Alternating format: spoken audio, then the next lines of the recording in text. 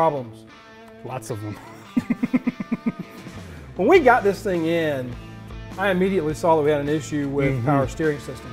Yeah, and I, I saw the gigantic crank pulley, and while it's running, I can hear the alternator screaming. at idle, Yeah. which means it's really screaming Yeah. when you're going down the road. So what we're going to be talking about today, folks, is we're going to come in here and actually start looking at what's going on with the pulleys. Because I don't know if you guys realize this, most of these cars are old enough to have children of their own that are like graduating college and going out and making their own life. These cars are in their 50s, a lot of them. And there is absolutely no telling what's been going on with what you have underneath the hood. What we're going to talk about today is how to figure out what's going on and what you probably need to do to make that happen and fixed. Let's get stuff and make things happen. Yay, stuffing things. All right, one of the first things I want to talk about is what can happen whenever you have a situation like this where you have a cobbled together system. That's obviously what we have going on here. The, the crank pulley is too big, the, the power steering pulley is too small. The water pump pulley is about the only one that looks like it's right on this engine. Um, and so, what can happen in those situations is A, you're overdriving your, uh, your components. You're overdriving your power steering pump when the pulley's too small. Um, and what I mean by overdriving is it's just spinning too fast. Your rotation is too much. But because we have a misalignment situation here that's actually really severe on this power steering pump, what that's going to do is it's going to change the wear pattern on the, uh, the pump itself. And the other problem we have here is that the power steering pulley itself doesn't have enough belt on it, this belt right here. There's not enough belt on either it or the AC pump for it to do its job correctly. Um, because if you don't have enough surface area, it's actually going to cause the pulley to possibly stop because there's just not enough traction with the belt for it to do the job it's supposed to do. You want more area, surface area on here like this should be, you know, where it is here, but more around the bottom back on this side so that it's not just sectioning it like it is right here because our pulley on the AC pump is from here to here. That's not enough surface area. We had the same problem on the F100, which we're going to be fixing with the change of the belt positions on it. But this situation that we have going on right here is pretty bad because A, it makes it a lot easier for it to throw belts, but B, it's also bad for bearing wear and things on your power steering pump because of the amount of off angle uh, pull that it's causing on that. So, two bad things right away on that. Now, Cam's going to come in here and he's going to show you how to do the measurements on these pulleys to be able to get what you need to get as far as the numbers to make sure that you got the right ratios on your uh, pulley setup. All right, so I'm going to go through and start measuring these pulleys. Uh, there are a couple, well, the crank pulley has a smaller inner sheath, so that one's going to be a little bit different, but the rest of them are pretty simple. Tape measure, these aren't going to be exact readings because they're in car, can't get exactly right. But we're just trying to get a base of what our drive is pretty much. If we're overdriven, underdriven, yada, yada, yada. So I'm going to go to the main crank pulley first and go across it get the diameter of it so it's coming out right at about 7 15 sixteenths so I've got all these written down on a piece of cardboard already because I like to do my homework so I'm just going to speed through these but generally it's just measuring the pulleys so on this crank pulley like I said there is an inner sheath so you kind of want to go in like that just to take a measurement of the distance between the inner and outer sheaths. Now this gives you the dimension difference between the radius. Now on the diameter you have to double the radius measurement. So that one right there, it's 5 8 smaller on the radius. So it is 1.25 smaller on the diameter. So I've got that marked down as well, but you want to make sure so you calculate all of the belts that are driven off of that sheath at a different value than the main big sheath. So then you just go through, measure all of your pulleys like so. Our AC pulley right at five and three quarter. Our little tiny power steering pulley right at four and three quarter. And our little, little alternator pulley is right at two and a half-ish. All right, so I've got these all written down on my cardboard already, and I will show you how to do the math in just a second. We. All right, so we are at our nice new bench top. I've got our numbers here. These just represent the pulleys. This one here is the crank pulley. That is the alternator pulley, water pump, AC compressor, power steering pump. So the first thing you're gonna do, get yourself a calculator because math, me no math good. So we have a two and a half inch pulley here and a seven inch 15 16 pulley here. So obviously half inch is 0.5, 15 16 is about 0.93. So what you want to do is your ratio of drive to driven, your driven pulley is 2.5, with a ratio is a fraction, and then you divide it by 7.93. All right, so once you have your drive and driven pulley measurements, 2.5 divided by 7.93, and that is your drive ratio. So we have a 0.3 between these two pulleys. Now that is overdrive. Any, any drive ratio that is smaller than one is overdrive. So it takes 0.3 revolutions of your main pulley to get a revolution of your alternator pulley. So that's really bad. Um, well, not really bad. That's actually good for like idle time, uh, traffic, stuff like that, because your alternator is going to be charging really well at idle. But when you're doing a lot of driving, highway speed, your alternator is going to be singing going down the road, and it will burn them up very fast. So I'm going to go through and do the other mass here. Now on this crank pulley, we have a inner sheath that is smaller and it drives the other three gears. So we need to go ahead and calculate the dimension for the inner sheath. Now it's 5 8 smaller on the radius. That is 1.25 off the diameter of that. So 7.93 minus 1.25 equals 6.68. So this is just going to designate the inner sheath, 6.6 inner sheath. So now you just go through, calculate the same.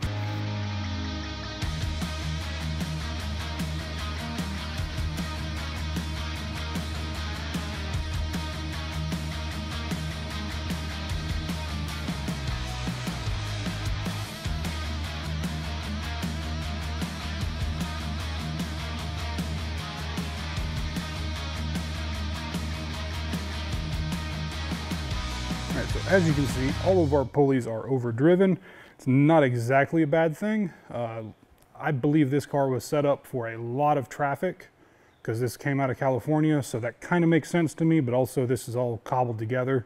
So our crank pulley is massive. Um, I think that's wrong for the whole setup. All right, now this is for basic pulleys. Um, there's a compound pulley, which is a small pulley driving a really big pulley that's got a smaller pulley in it that drives another small pulley.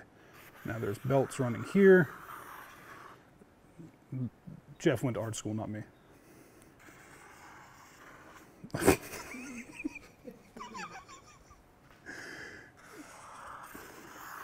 so that that is a compound toilet roll.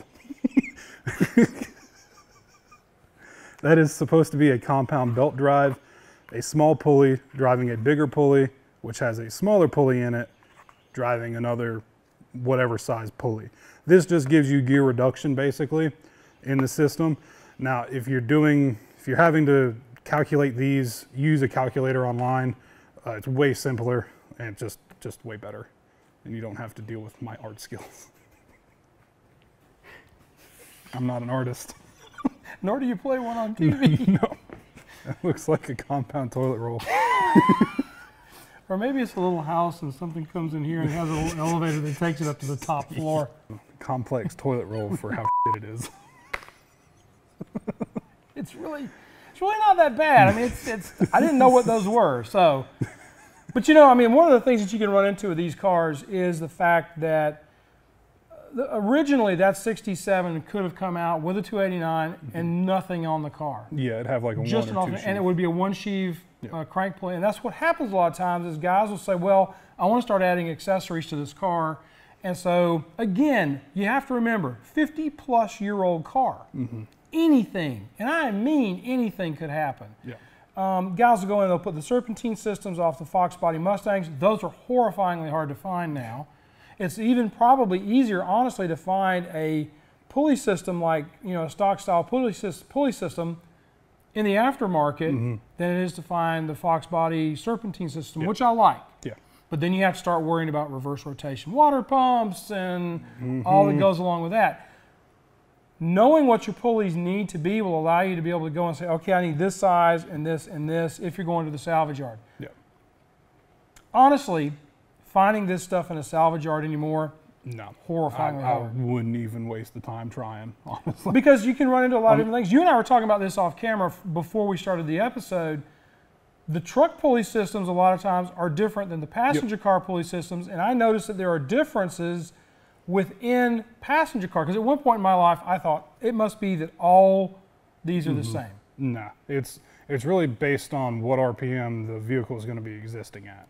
Like a truck, you're normally going to be below 3,000 RPM for a large part of its time. So that's where it wants to operate correctly. So on that, you'd probably have a small alternator pulley, smaller water pump pulley, but a decent sized crank pulley.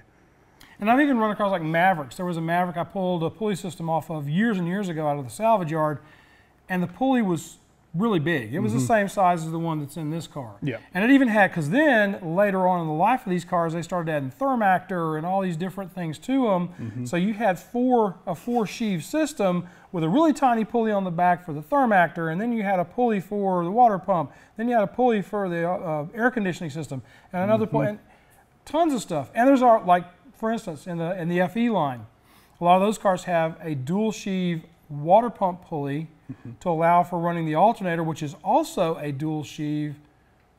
Why they did that, I don't know. If you know why Ford put dual sheave pulleys on the alternator and the water pump to run the alternator, let me know in the comments below. I'd like to hear from you on that. We got a lot of you guys writing in doing some really cool stuff and information like that. I think that this is a bigger thing than a lot of guys realize because I mean a mm-hmm. lot of guys can go out and start looking at this and realize that they've got it may be why they're having an overheating problem in their car. Oh yeah. If that is an underdrive to the water pump, you'll have overheating.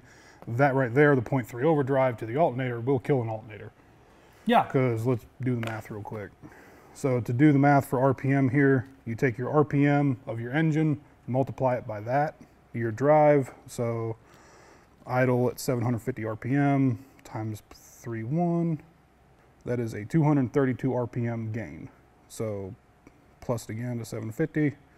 So at 750 RPM at idle, your alternator is turning 982 RPM. So you're right, basically idling that alternator to 1,000 RPM. Yeah. And then beyond that, if you're going So- up to highway speeds, which let's just say is 22, 2,500 RPM, 2500 times 0.31. That was wrong. we, we don't math much around No, here. no. He's doing better than I would have done. I'd have already quit. See, I just I'd have did- thrown the did- thing did across it again. 2500 times 0.31 plus 2500. So at 2500 RPM, that alternator will be turning 3275. Either you need a really good high performance alternator Yeah, or you need to reduce pulley sizes. Yeah. Or, well, because you're just you're just either increase the pulley size on the alternator or decrease or crank. decrease the, the main crank. Probably it might be easier to increase the size of the, the pulley here. Yeah. But even so, you've got I, you the real problem solver for this would be to drop crank pulley size out of it. you know what the real problem solver is. the entire car. well, the dumpster. Wrong answer, but the entire pulley system just change it all Yeah. out. Yeah. Either with a, a V-belt pulley system mm-hmm. or a really nice um, serpentine. Serpentine. system with the aftermarket stuff. Yeah. Because at this point, there are so many bad things going on. We know that the power steering pump is wrong. We know that uh, th- this is this is actually a correct pulley, but not for this pulley. and it's only a single sheath. So to run these accessories, you really want to wrap it over on the second sheath. Because I've had that happen before with a system with a buddy's car where he had, I believe it was the AC was set off wrong. It was too Mm-hmm. far out. He kept throwing he kept throwing belts. I'm amazed this one doesn't. I really am too. That's probably the worst one I've Yeah. ever seen. Honestly, it's Yeah. bad. My 66 was bad, and it would chuck it at about 4,500. I wouldn't take that car to 4,500 right now. yeah, probably. Alternator has left the chat. along with every belt between here and Al- Albuquerque. Um, all right, well, that's really basically it, folks. We really wanted to kind of show you what to do to look out for. It's something that you may not think could be an issue on your car.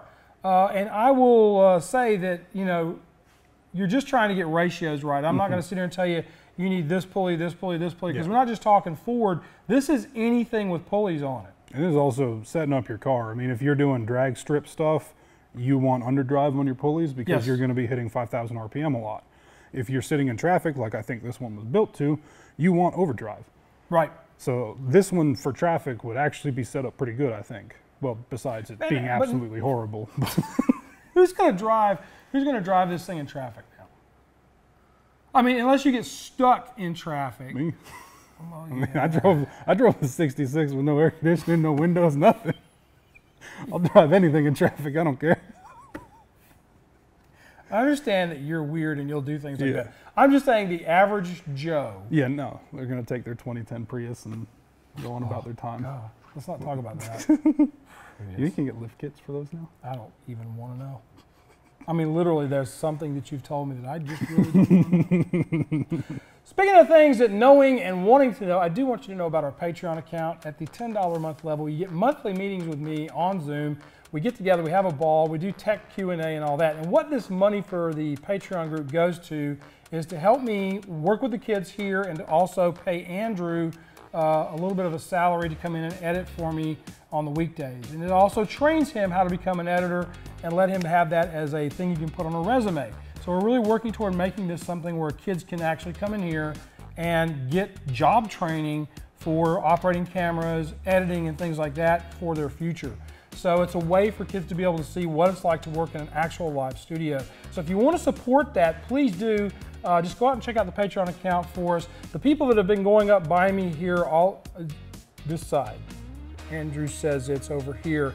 These people that have been going up beside me all this time, those are the guys who put their money where their mouth is and have been a big financial support to allow me to have Andrew come on board. So thank you to those folks. Also, what I'd like for you to do is to go out and subscribe to the channel. We have a blank spot on the Paul wall for our silver plaque, and we are danger close to it. We're at 90,000 subscribers right now. You know, we've had guys write in and say they subscribed their grandmother who was confused why she was getting suddenly car videos on her YouTube stuff where she was only looking at, you know, crochet videos before that. I don't know. Do, do people in a little bit older age group than me do, do they do crochet now? I mean, I don't see grandmas in what my age group. It's not a thing anymore. I, yeah, I just don't see grandmas in my age group doing that. I mean, it just doesn't seem like a thing. It just doesn't. I can say I've seen one person in the past five years crocheting. And that's because they were really bored at their desk and not doing anything. That person needs they were more to do. well, they were getting paid to do it. So that's probably Oh why wow! they're doing it. Yeah, no, okay. Um, I guess that's really it. So do me a favor, you guys, be kind to each other, love on each other. Have a great week, and we'll see you next time on Auto Resto Mod. Now I got to call March because I got to get I got to get rid of that stuff. That's just nasty. The bad thing is, getting marching on it. oh god, you're fucking around with me way too much. um, the bad thing is, is when we put that really pretty March system in that engine bay, yes, the engine's gonna look doo it's going to look douchey Yeah. because we'll need to do like, you know, Clean up valve covers again. We gotta put the intake manifold on. Yeah. Forgot about that part. We gotta still do that. We need to do that anyway. We got, and we need. I'm. There's nothing against those type of ignition, the HEI type ignition systems. It's god ugly. It's not Ford. It's yeah, just it's ugly. not. Yeah. The small cap ones are fine. I don't mind those as much. I haven't seen those. Yeah, you can get a DUI in a small cap now. It take, takes the blue module off the top and Where's it, where's it put it? somewhere. I like that. It just puts it somewhere. Anywhere you want it. you can stick that thing anywhere you want it. Okay. you can stick the coil wire to the passenger seat. Shocking. I don't like passengers. You are becoming a curmudgeon far too early. Oh yeah. We need to Get you out I'm an socially. Old angsty soul. An old angsty soul. Goodbye, everybody. I'm gonna go get a beer now.